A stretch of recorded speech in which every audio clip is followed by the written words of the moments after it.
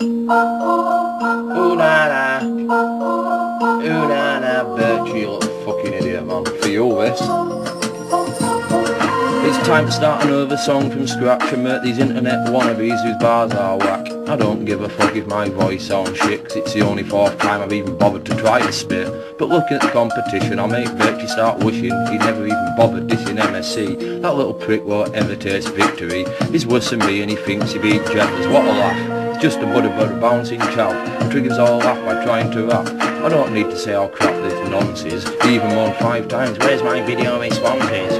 And after he thinks he won the battle. But Birchy, stick to the bars that he used to. You hear him while shagging poor sheep's poo shoots. Tried a gun, I'd maybe shoot you. You might even have one, might be just trying to You're always gonna lose your mission with dissing on a rap track when all the bars you write are so crap.